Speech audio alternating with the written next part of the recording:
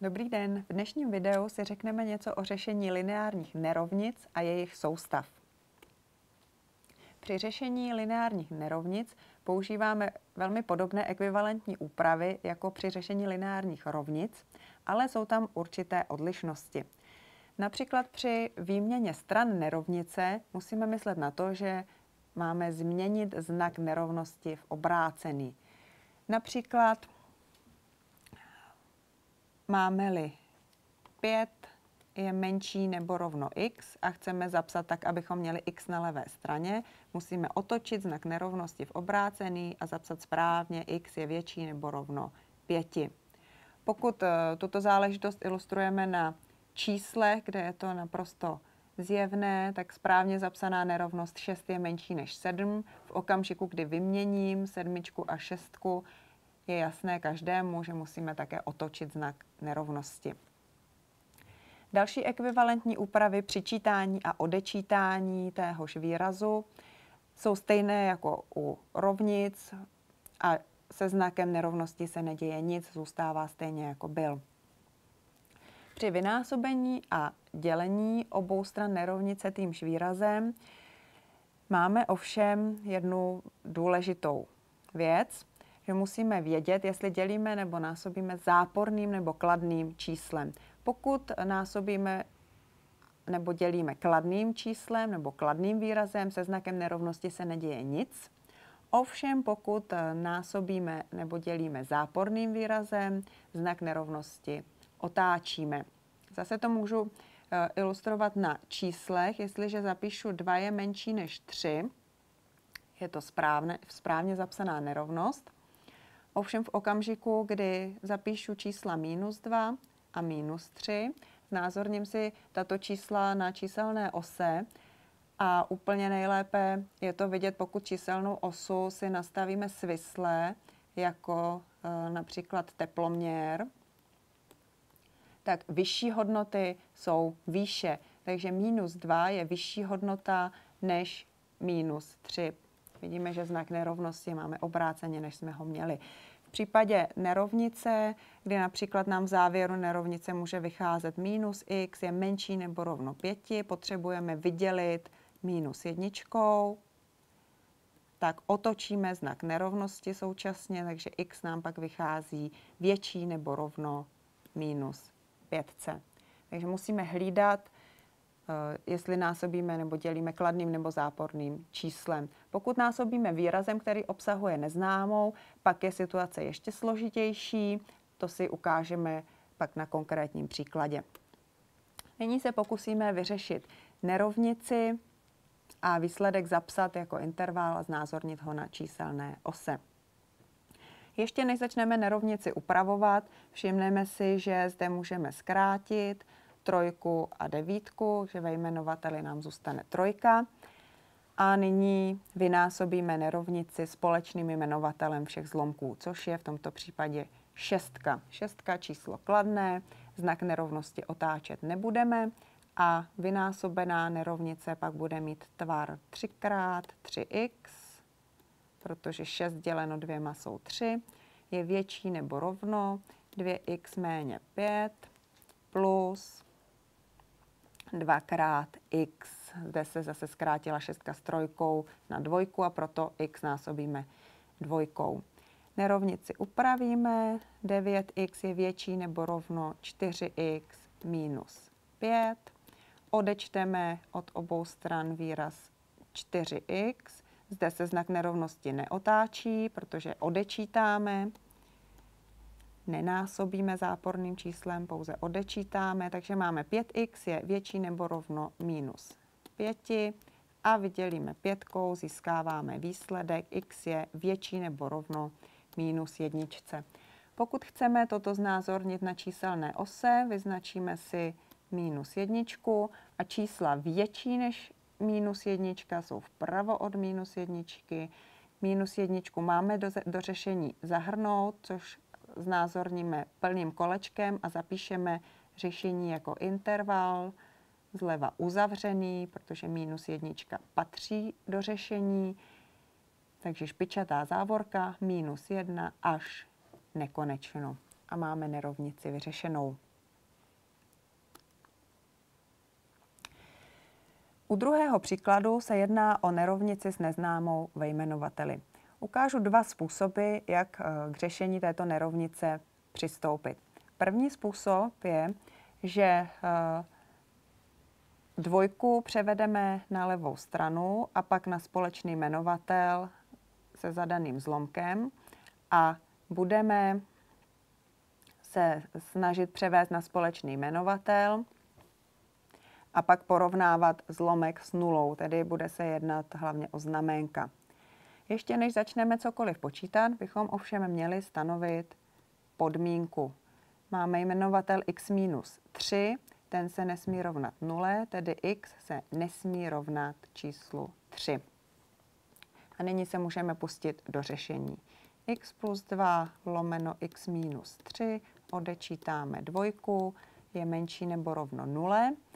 Dvojku nyní potřebuji převést na společný jmenovatel eh, nebo na ten jmenovatel, který je ve zlomku, tedy na jmenovatel x minus 3.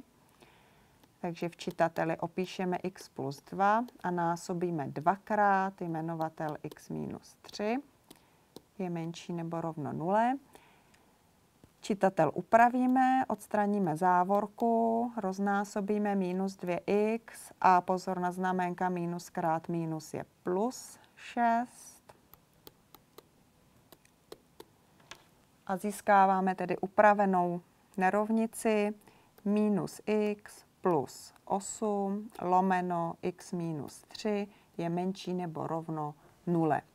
Jedná se o podíl dvou lineárních výrazů, který porovnáváme s nulou, takže pokud se nám podaří určit si znamenka těchto výrazů, neboli eh, zda ten výraz nabývá kladných nebo záporných hodnot v určitém intervalu, tak máme vyhráno.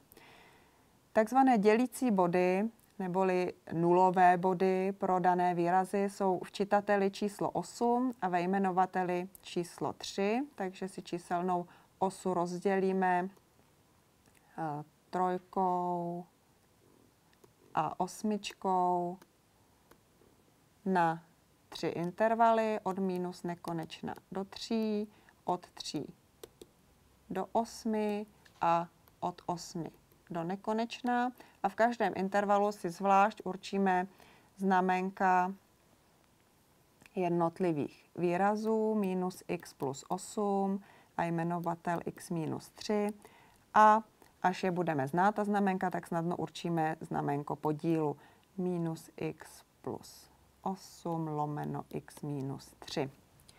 Výraz minus x plus 8 nabývá v prvním intervalu kladných hodnot. Zjistíme to například dosazením nuly za x. A znamenko se změní až v tom dělícím bodě, tedy v osmičce, kde nabývá hodnotu nulovou a za osmičkou hodnotu zápornou. Výraz, který je ve jmenovateli x minus 3, naopak nejprve nabývá hodnot záporných, opět můžeme třeba dosadit nulu. Pro trojku je hodnota nulová a od trojky do nekonečna už je výraz hodnoty kladné. Podíl v prvním intervale, jestliže dělíme kladná hodnota děleno záporná hodnota, vychází nám záporná hodnota. Pro číslo 3 eh, výsledek vyjádřit nelze, x se nesmí rovnat třem, dělit nulou nelze, takže tady nelze prostředním intervale od 3 do 8 vychází kladná hodnota, dále eh, nulová hodnota a v posledním intervale opět záporná hodnota. My jsme se ptali, kdy bude výraz celkově menší nebo roven nule, což vidíme, že je v prvním intervale, pro číslo 8 a v posledním intervale. Takže tedy řešení můžeme zapsat jako sjednocení intervalů minus nekonečno až 3, sjednoceno s intervalem od 8 do nekonečna, přičemž osmičku tam přidáme pomocí špičaté závorky. Druhý způsob, jak tuto nerovnici vyřešit, je to, co by asi napadlo každého, kdo se na to podívá, prostě vynásobit jmenovatelem. Ovšem musíme dát právě pozor na to, kdy je jmenovatel hodnoty kladné a kdy je jmenovatel hodnoty záporné, abychom podle toho buď otočili nebo neotočili znak nerovnosti. Takže vyzkoušíme si i tento způsob řešení. Budeme tedy nerovnici vlastně řešit dvakrát. Jednou v intervalu od minus nekonečna do 3 a jednou v intervalu od 3 do nekonečna.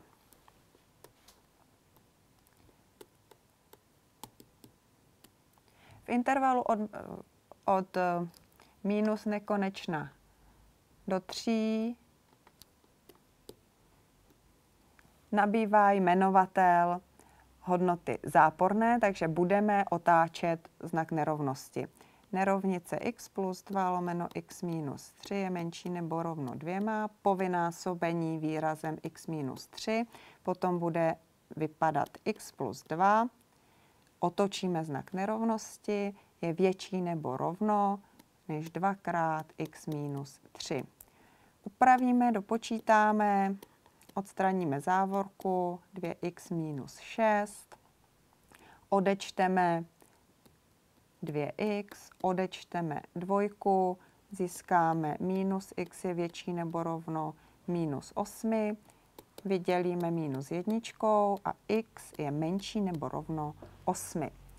Zapíšeme si první množinu kořenů, ovšem musíme se podívat, v jakém intervalu jsme pracovali. Pracovali jsme pouze v intervalu minus nekonečno až 3, takže nemůžu zapsat řešení, že by bylo od minus nekonečna do 8, jako nám vychází ta nerovnost, ale můžu zapsat pouze do 3, protože pouze v tomto intervalu jsme teď počítali. V druhém intervale od 3 do nekonečna má jmenovatel eh, hodnotu kladnou, takže nerovnici vyřešíme znova. Ovšem při násobení výrazem x minus 3 nebudeme otáčet znak nerovnosti, neboť v daném intervale je výraz kladný, takže získáváme x plus 2 je menší nebo rovno dvakrát závorka x minus 3. Dále to řešení vypadá úplně stejně jako první části. Odstraníme závorku, odečteme 2x a dvojku, vydělíme minus jedničkou a získáváme druhou část výsledku x je větší nebo rovno 8. Takže druhá množina kořenů, interval od osmičky včetně do nekonečna. Řešení tedy zapíšeme jako sjednocení těchto dvou intervalů. K rovná se sjednocení minus nekonečno až 3, sjednoceno 8 včetně až nekonečno. Tedy dospěli jsme ke stejnému výsledku, pochopitelně. Každý si může zvolit, která metoda je mu pro řešení pochopitelnější a příjemnější. Nyní se podíváme na soustavu lineárních rovnic o jedné neznámé. Soustava lineárních rovnic vlastně znamená, že řešíme každou nerovnici zvlášť a výsledek soustavy pak stanovíme jako průnik řešení těch jednotlivých nerovnic. Takže nejprve vyřeším první nerovnici, budu odečítat 2x a budu odečítat osmičku. Získám minus x je větší než minus 10. Po vydělení minus jedničkou, kdy opět otáčíme znak nerovnosti, x je menší než 10. Můžeme si znázornit na číselné ose čísla menší než 10 jsou vlevo od desítky, kolečko si zakreslíme prázdné, to nám říká, že desítka do řešení patřit nebude, nebo ta nerovnost je tady ostrá, x je menší než 10.